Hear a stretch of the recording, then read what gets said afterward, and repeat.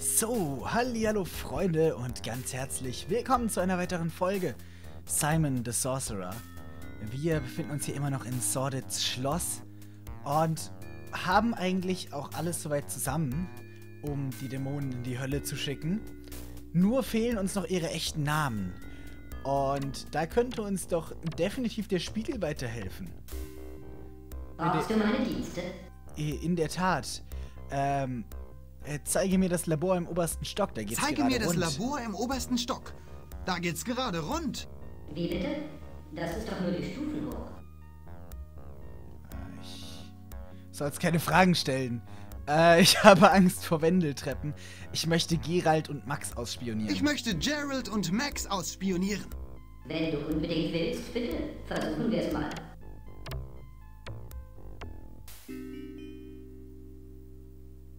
Warum bist du so nun äh, nervös bei Fremden, Belchgrabbit? Wärst du das nicht mit so einem Namen? Snockfondel ist doch auch nicht viel besser. Wahrscheinlich nicht. Belchgrabbit und Snockfondel. Ich habe genug gesehen. Danke für deine Hilfe, Spieglein. Okay, nice. Das heißt, wir haben jetzt alles, um Entschuldigung? das Oh, Ritual ja? zu beginnen. Äh, zurück, Dämon, ich bin ein mächtiger Zauberer. Warum äh, bleibt ihr hier, wenn ihr so unzufrieden seid? Diese Dämonen werden. Ähm, Warum bleibt ihr Ja. hier, wenn ihr unzufrieden seid? Sieht so aus, als hätten wir eigentlich keine Wahl. Sordid wird uns nicht gehen lassen. Wa äh, was ist Sordid überhaupt für ein Typ? Was ist Zordit überhaupt für ein Typ? Er will, verstehst du, das Universum beherrschen. Stimmt doch, oder? Ja, Mann. Ich glaube, die Eltern sind schuld. Na klar, die Eltern. Keine Angst, ich, Simon, werde ihn stoppen. Äh, wie will er das machen und wo genau kommt ihr in diesem Plan vor? Wo genau kommt ihr in diesem Plan Und wo vor? genau kommt ihr in diesem Plan vor? Wir sind Sordids persönliche Leibwächter, Matrosen, Gärtner, Putzfrauen, Köche. Sag irgendwas, wir tun's. Wir tun's. Das ist die wahre Hölle. Äh, wie hättest du es denn gerne? Wie hättest du es denn gerne? Sieh mal, wir sind doch Dämonen, oder nicht? Ja, Dämonen. Wir sind nicht diejenigen, die für andere leiden sollten. Um ehrlich zu sein, ich weiß selber nicht genau, warum wir hier die Stellung halten sollen. Seitdem er diesen Stab hat, sind unsere Aufgaben sehr einseitig. Einseitig, aber total. Er hat das aus einem Kinderbuch. Er verwandelt Menschen irgendwie zu Stein. Stein, jawohl. Aus diesem Grund auch die vielen lebensechten Statuen von den Leuten, die versucht haben, ihn zu stoppen. Das äh, habe ich mir fast gedacht. Okay, ich habe Angst, wo geht's raus? Ich weiß, ich brauche einen sprechenden Löwen. Wirklich. Wirklich, äh, kann man sie wieder zum Leben erwecken? Diese Statuen meiner Menschen, äh, Kalypso muss auch darunter sein. Diese Statuen waren einmal Menschen. Sie sind immer noch lebendig, technisch gesehen. Sie sind nur zu Briefbeschwerern umgeschult, weißt du? Briefbeschwerer, jawohl. Oh, Mach dir keine Sorgen. Solange er in der Badewanne ist, bist du sicher. Ich weiß nur nicht, wie lange. Er ist also in der Badewanne. Äh, dies scheint ja. Weißt du, ich bin im Auftrag des Herrn unterwegs. Ich bin im Auftrag des Herrn unterwegs. Sordid hat ihn wahrscheinlich im Erdgeschoss. Macht auch nichts, denn wie du weißt, die einzige Möglichkeit raus ist der Teleporter. Und ich werde mich hüten, dir zu sagen, wie er funktioniert. Du möchtest mir also nicht sagen, wie der Teleporter funktioniert. Was habe ich dir denn Was getan? habe ich dir denn getan? Wir sind Dämonen, wir arbeiten nicht für gute Leute, weißt du? Gute Leute, nein, tun wir nicht. Äh, warum benutzt ihr nicht die Teleporter? Hinfort, Dämon! Sagt mir, äh, wie man ihn benutzt, oder ich schicke euch daher. Hinfort, Dämon! Sag mir, wie man ihn benutzt, oder ich schicke euch zurück, wo ihr herkamt. Alles, was wir wollen, ist zurück in die Grube, woher wir kamen. Verstehst du? Boah, ey, Grube. Alles, was du tun musst, ist einen Zauberer finden, der groß und mächtig ist.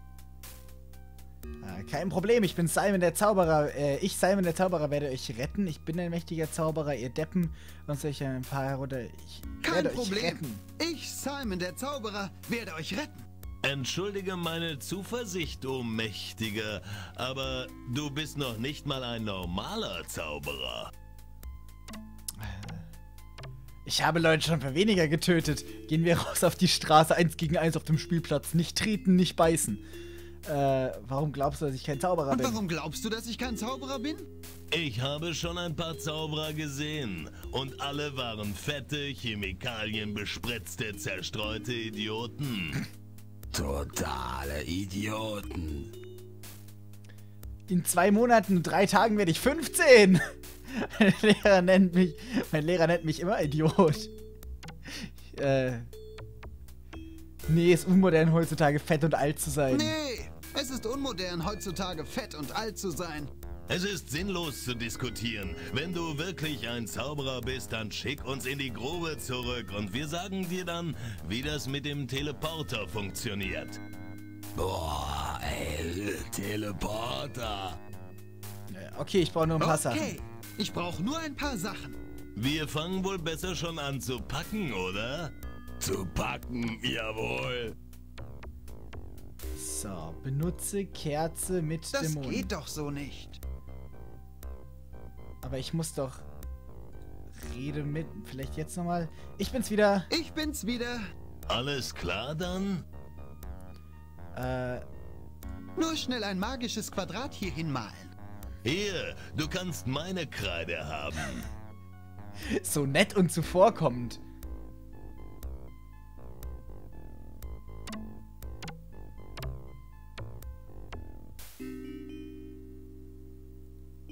Äh, Dann kann's ja losgehen. Rock'n'Roll. Na, dann kann's ja losgehen. Rock'n'Roll. Ich bin beeindruckt, sehr beeindruckt. Das könnte sogar eventuell funktionieren. Funktionieren, ja. Okay, Bübchen, jetzt sage ich dir, wie der Teleporter funktioniert. Drücke einfach auf den roten Knopf, auf dem Selbstzerstörung steht, und sage der Maschine, wo du hin willst. Leider nur eine Hinfahrkarte. Ohne Passwort kommst du nicht mehr zurück. Passwort, jawohl. Und das wissen wir auch nicht.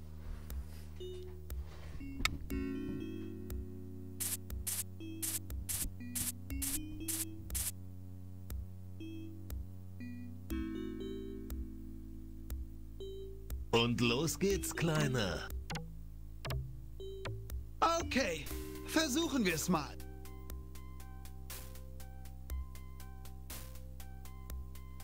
Zabak, Zin, Zan, Xenok, Jarmak, Zock. Oh, Scheint so, als müssten wir hier...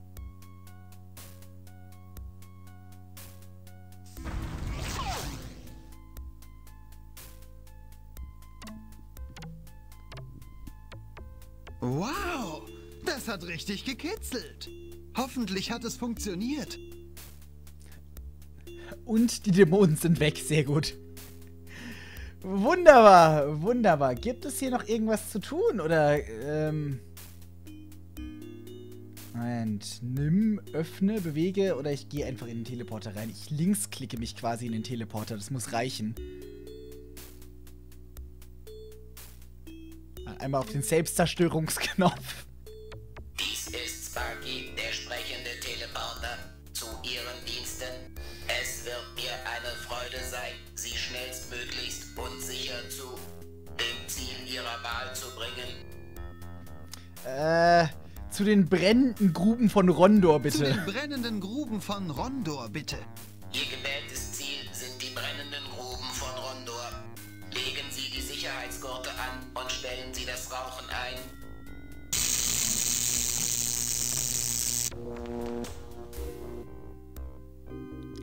Schwonk.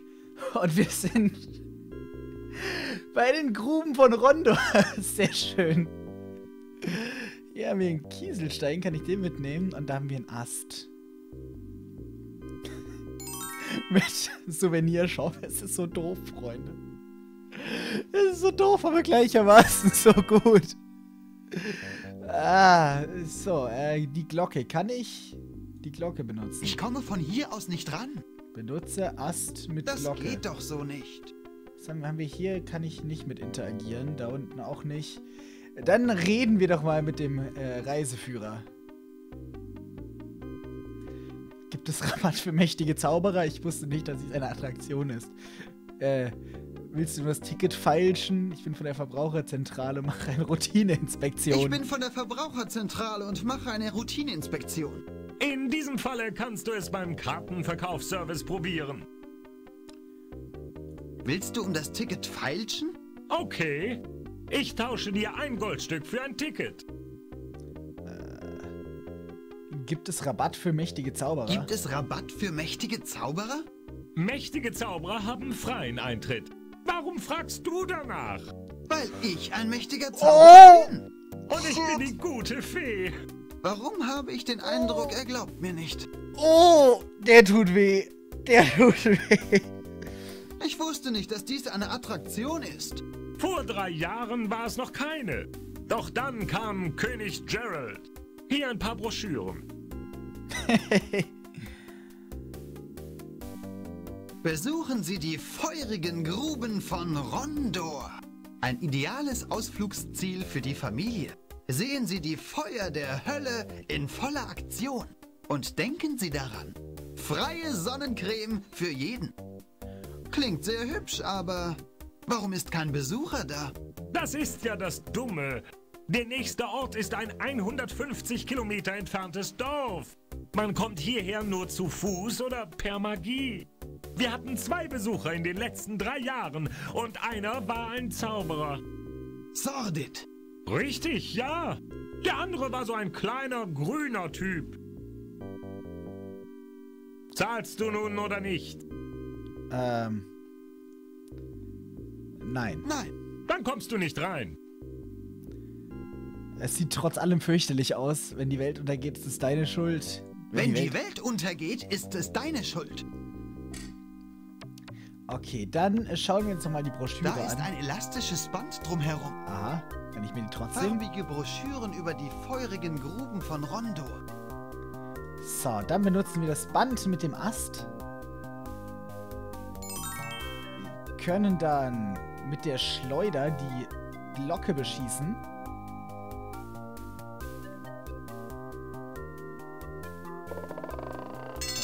Feuer! Ich bin draußen. Ach, Feuer in den feurigen Gruben. Na gut, wenn. Ja. Ne? So, haben wir hier irgendwas? Da haben wir Bohnenwachs. Wofür auch immer wir das brauchen. Wenn ich den zu fassen kriege, der die Sprinkler ausgelöst hat. Ich röste ihn bei lebendigem Leib. Jetzt muss ich versuchen, dieses verdammte Ding wieder anzustecken. Gerade als ich mit meinem neuen Zauberstab fertig war. Ähm, da benutzen wir mal den Zauberstab mit Sordid. funktionieren soll. Ganz schön ironisch, oder? Hey! Schleimeimer! Pasta la Pizza, Baby! Nein, Äh, doch.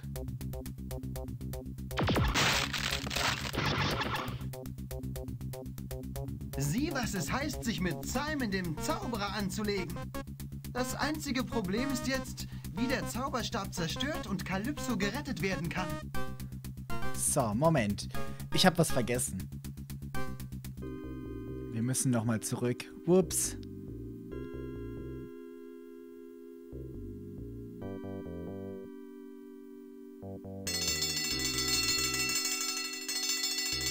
Äh, hier, genau. Hier haben wir noch ein paar Streichhölzer.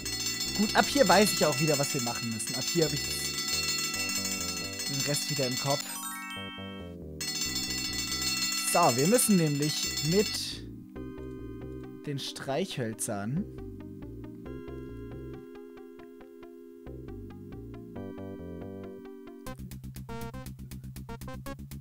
Komm, den gucken wir uns mal an. Er sieht sich relativ ähnlich. Ich bin sehr zufrieden mit mir. Die Streichhölzer in die Grube. Sordid und seine ganze Magie bringen das nicht zum Laufen. Und du erwartest tatsächlich von mir, dass ich das Ding mit einem Streichholz anzünden kann? Ja. In, in der Tat.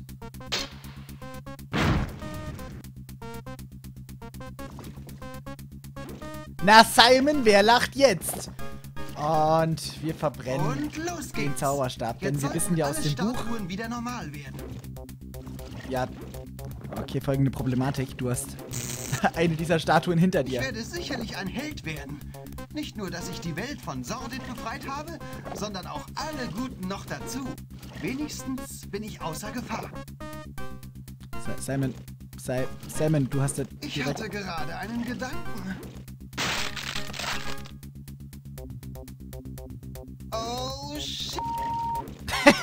Schön, schön, schön, kleiner Zauberer. Jetzt machst du mich aber wirklich wütend. Äh, tut mir ehrlich leid, sagen wir unentschieden. Hüte dich, Schreckgestalt, oder ich werde wütend. Das wollte ich nicht, der Teufel hat mich verleitet. Tut mir ehrlich leid. Sagen wir unentschieden? Mich interessiert dein rührseliges Gewinsel nicht, kleiner Zauberer. Diesmal gehe ich auf Nummer sicher und töte dich unter großen Schmerzen. Ich denke, es ist Zeit, sich zu verabschieden. Du hast das Spiel schon beendet. Sprich dein Gebet, kleiner Zauberer.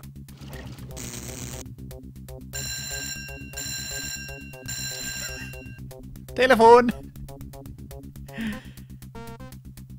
Hallo, Sordid am Apparat. Wer? Äh, warte eine Sekunde. Leute von der Lebensversicherung, sie wollen mit dir sprechen. Hallo? Ist dort Simon, der Zauberer? Am Apparat. Hier ist Calypso. Deine Arbeit mit dem Zauberstab war große Klasse. Wir sind alle zurückverwandelt worden. Ich komme, um dich zu retten. Versuche ihn um eine Weile abzulenken, okay? Äh, okay. Bis gleich. Auf Wiederhören. Was wollten sie? Ähm, meine Lebensversicherung wurde gekündigt. Ich habe dich eben aus meinem Testament gestrichen. Meine Lebensversicherung wurde gekündigt. Na gut, mach dich bereit für die Qualen deines Lebens. Warte eine Sekunde. Was willst du noch? Warum kannst du nicht ruhig sein und sterben? Äh, kennst du schon den, wo der Kanzler auf die Toilette geht? Ich hänge irgendwie an meinem Leben. Ich muss dich aufhalten, bis meine Rettung hier ist. Kann ich einen letzten Wunsch äußern? Kann ich einen letzten Wunsch äußern? Lass mich einen Moment darüber nachdenken. Äh, nein! Oh, Es ist Zeit für dich zu sterben. Sehr diabolisch.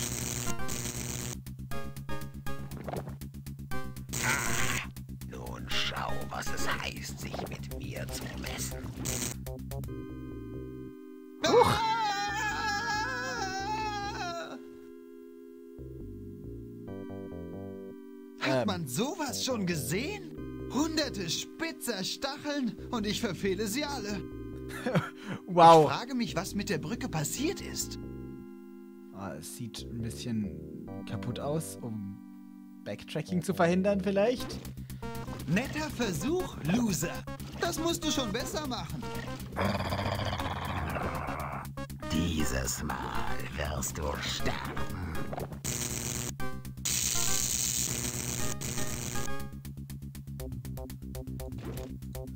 Wir benutzen das Bonawachs Habe ich vorher Bohnenwachs gesagt? Das heißt natürlich Bonawachs. Auf dem Calypso ausrutscht.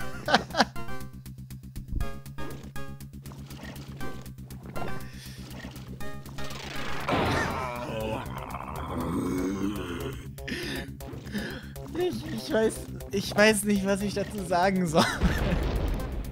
Was geht denn hier ab? Wer hat das Licht ausgeknipst?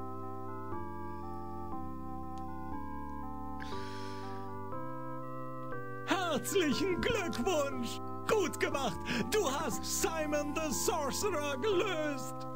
Nun, Simon, wie fühlt man sich als Held? Auf welchem Trip ist der denn? Willst du deinen Fans irgendetwas sagen? Versäumen sie nicht die nächstjährige Fortsetzung? Halt mal die Luft an. Das mache ich nicht nochmal alles mit. Puh, was für ein Albtraum. Zum Glück bin ich endlich aufgewacht.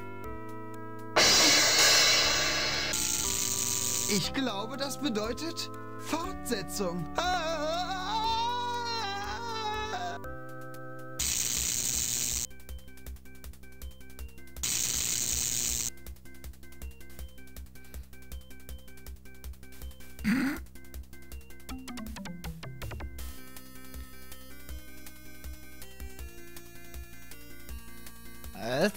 Abspann, auf den kann man sich mal freuen, ne? Äh, Fortsetzungen gibt es tatsächlich mehr als genug, die aber von der Qualität leider alle nicht an den ersten Teil rankommen, denn äh, ihr müsst schon zugeben, der erste Teil ist schon echt super. Ich liebe den Humor und alles. Vielleicht schauen wir uns den zweiten irgendwann noch an. Das lasse ich aber erstmal offen, da will ich nichts versprechen. Wie gesagt, die nehmen alle von der Qualität stark ab. Der zweite ist noch ziemlich gut. Aber ja. Ah, werden wir sehen, was die Zukunft bringt. Jetzt schauen wir den Dämonen beim Tanzen zu. Wie lang, wie lang sollen wir jetzt. Ah. Sehr gut. Ich habe eigentlich auf den Abspann gewartet, aber stattdessen äh, war das Spiel einfach zu Ende. Auch gut! Freunde, das war Simon the Sorcerer. Stimmt, den Abspann hatten wir ja ganz am Anfang. Wir hatten quasi einen Anspann. Das war Simon the Sorcerer. Ich hoffe, das Ganze hat euch gefallen. Mir hat es auf jeden Fall wahnsinnig Spaß gemacht. Ich liebe den Humor von diesem Spiel. Ich liebe ihn. Äh, falls euch das Let's Play gefallen hat, dann äh, lasst doch einen Daumen nach oben da. Würde mich sehr freuen, um keine weiteren Projekte zu verpassen. Abonnieren nicht vergessen. Und ich hoffe, wir sehen uns demnächst bei einem anderen Projekt. Bis dahin und ciao, ciao.